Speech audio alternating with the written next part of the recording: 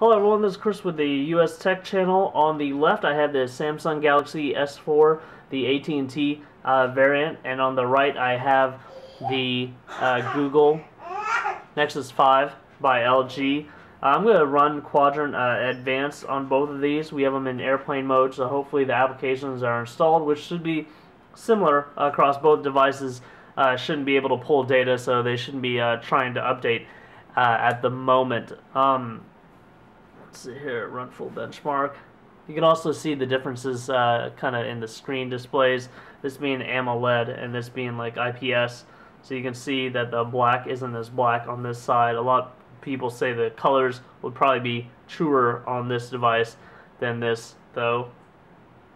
Now, I've kind of uh, stopped doing benchmarks or uh, put them last on my list because really what you want is everyday performance out of these devices. Benchmarks are just one way to uh, gauge general performance. Um, some devices do better on certain benchmarks than others.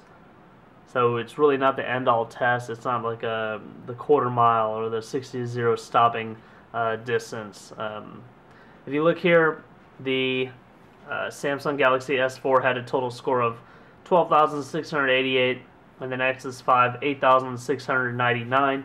Uh, I thought that was kind of low for the Nexus 5 ba based on the specs, but I looked at some uh, other videos and it looks like that's uh, pretty much uh, spot on to what uh, other people have been getting.